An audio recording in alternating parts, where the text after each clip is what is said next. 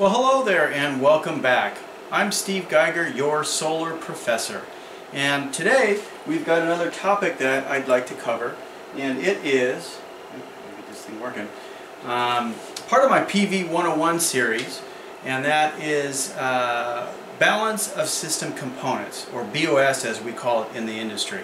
Um, this is actually a really important part of the system and you'll see why in just a few minutes. We definitely don't want to overlook this and we, and we certainly want to um, build uh, room in our budget for all of the parts and pieces that are involved in BOS. So let's dive right in and uh, get started. So um, you may be asking yourself, well, Solar Professor, what are balance of system components? Well, I got the answer right here. So um, this isn't a super long presentation, but I do have a few props to share with you, um, just to show you the, the real the nuances of, of everything involved, because it is actually uh, quite involved when we start talking about balance of system components. And the reason why is, if you look at uh, this particular slide, it is everything except um, really these two categories here. And I've broken it down for you uh, in two ways.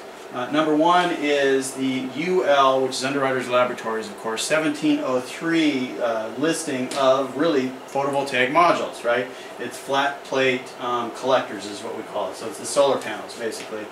The other UL, UL section is uh, 1741, and that covers inverters, converters, controllers, interconnection system equipment for use with distributed energy resources. In other words, it's your power producing components. So I have a couple of inverters shown here. I have an inverter charger right here. And then this is a charge controller for a, an off-grid or battery-based uh, type uh, system as well. And then that's uh, a microinverter and of course an optimizer there. So these two categories right here is not what we're talking about in balance of system components and to, to be honest it's everything else. So let's dive right in and take a look at those uh, really quick here. Alright, this is um, a picture from, uh, of course you guys know my favorite book, uh, Photovoltaic Systems by Jim Dunlop and um, this is this is the description that's in the book. Balance of system components include all the additional mechanical and electrical parts needed to connect and secure uh, the major components. And so we can see some of them in the pictures here. And what I'd like to do is kind of break it down into some categories that I've set up to show us you know, what's important when we are installing our system. As I've mentioned before, um, a lot of folks think, hey, you know, I want to go solar. Oh, it's not that hard. I just throw some solar panels up on the roof. Well, uh, truth is, it's it's a pretty complex process when you go solar in in regards to the permitting, in regards to all the little parts and pieces. Um, procurement's a big deal in solar too. Every little screw needs to be accounted for because if we're short, we're not going to be able to complete a job, and that stops the crew on the roof and things like that. So uh, let's take a look a little bit deeper into this. Okay, so this describes what does um, BOS include. So I've got a couple of categories here, mounts and racking, and I'm going to show you um, some pictures and such in regards to that. Uh, boxes, so we have combiner boxes, J boxes, called junction boxes, uh, meter cans, disconnects, raceways, gutters, you know, uh, a lot of that is electrical type stuff. Um, conduit and fittings, of course for electrical as well, and wire and connectors, and that is directly electrical. Then I set up a kind of other spe uh, specific or non-specific uh, component category for us um, to take a look at. So, let's dive right in. Excuse me. Um, so, mounts and racking, and there actually is a specific UL um, uh, section for mounts and racking, and it's 2703 on here. And of course, you can always uh, remember you can follow this uh, presentation. I have it posted as a PDF file on uh, my website, solarprofessor.info, um, and you can you can find it there. Um, so let's look at a couple of these things right here. We have uh, roof mounts for composite shingle roofs. I also over here have roof mounts for tile roofs, um, and both are common in, in our area here where I'm from in California um, ground mount systems.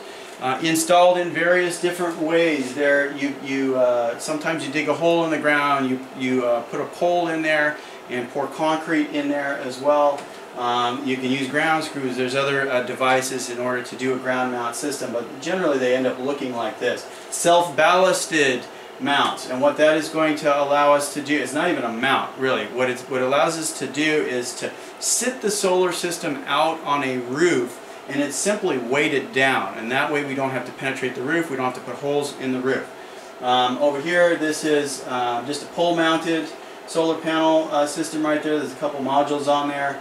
Um, and this is a tracking one. So it will actually follow the sun. And of course tracking we would want that um, to get as much power production as possible. Track trackers are a little more expensive, they can be uh, motorized um, or they can be a passive type tracker and um, that's going to add cost to the system. So oftentimes I'll see those on a larger solar farm or utility-based uh, type systems.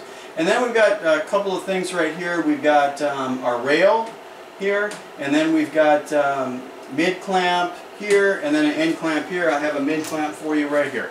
So uh, you can see with mid standard mid clamp um, will uh, connect to the rail in some way. I also have an L bracket, very common for us to use it in the industry, um, and that's to uh, hold the rails onto the mount. So You can see one right here. So there's the rail, mid-clamp mount, the whole, uh, or excuse me, uh, the rail, the uh, L bracket, and then it's sitting on the um, uh, roof mount right there. Okay. So, anyways, that is uh, mounts and racking. Let's continue the journey this afternoon. All right. Um, boxes. So we have uh, various boxes in regards to really the electrical side of BOS here.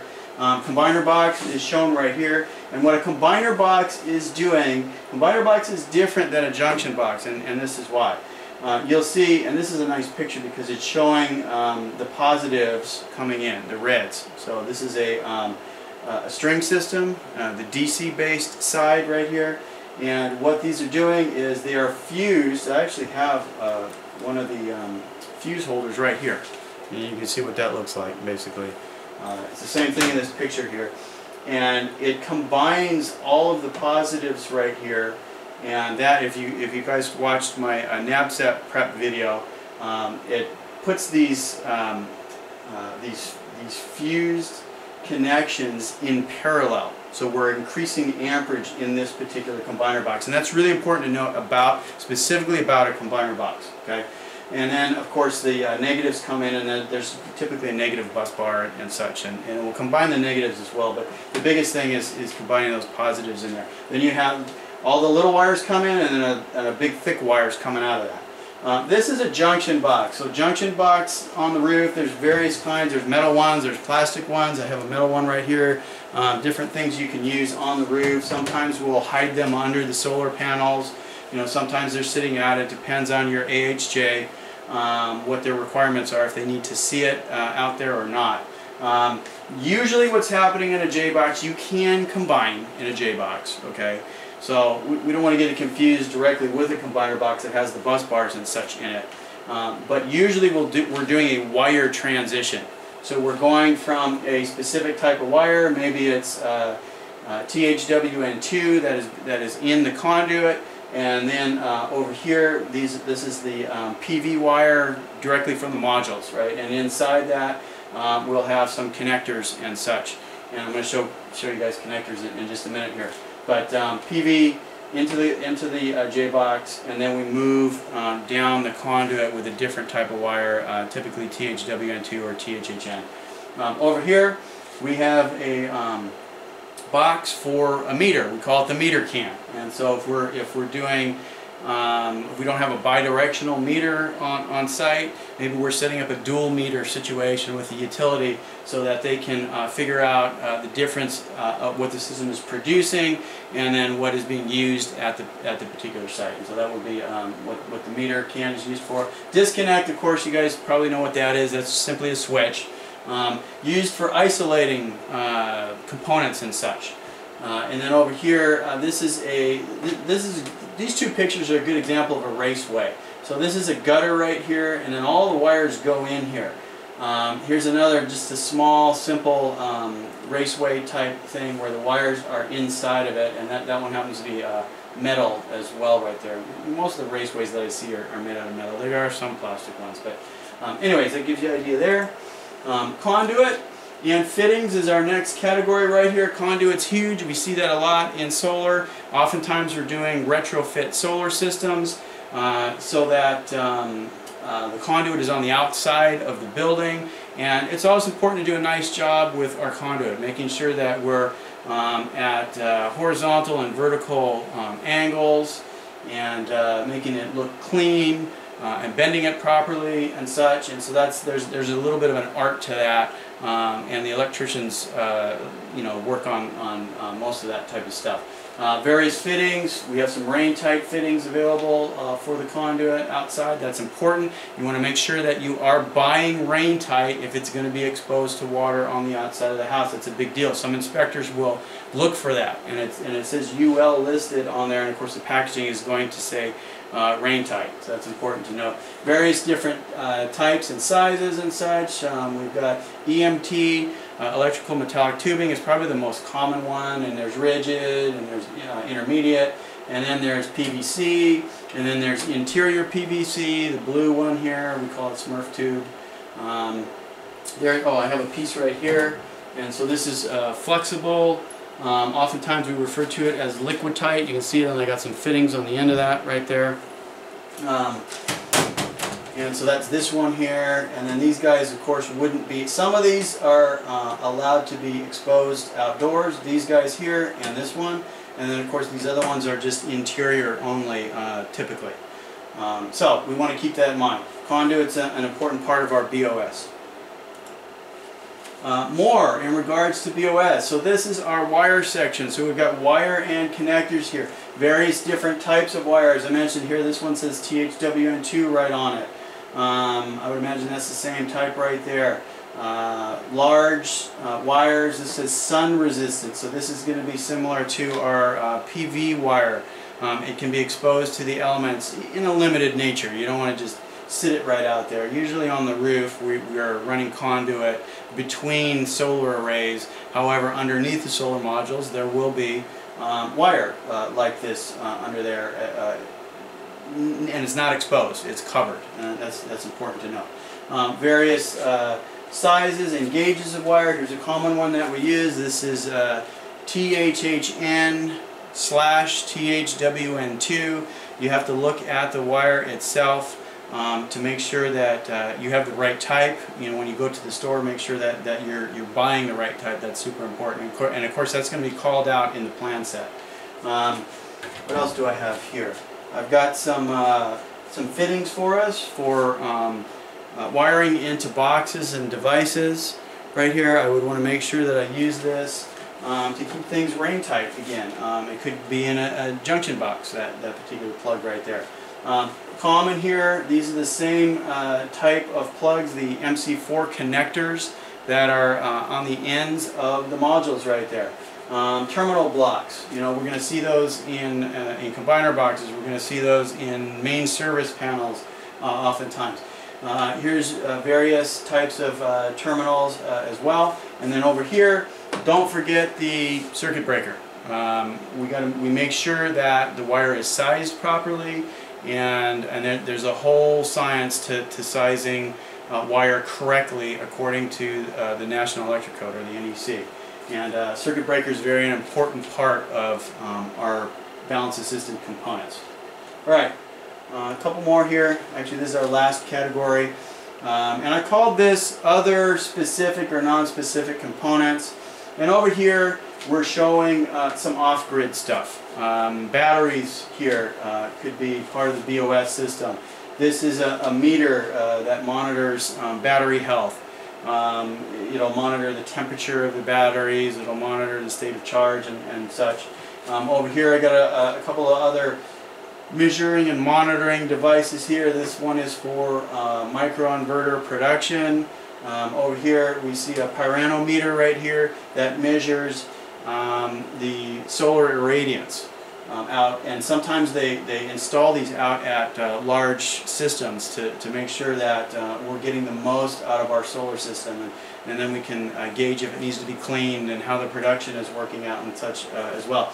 This is a CT right here, it's called a current transformer and oftentimes we'll send a one wire through it right there and that will uh, allow us to um, what, what they do actually is they feel electromagnetic induction and they give us uh, an amperage um, reading basically and then of course uh, if you have a solar system set up it'll help figure out what the overall wattage and production is of the solar system. This is actually the same technology that's on your um, uh, digital multimeter with an amp clamp. So that's, that's the same type of, uh, of thing. So uh, I think we covered most of it.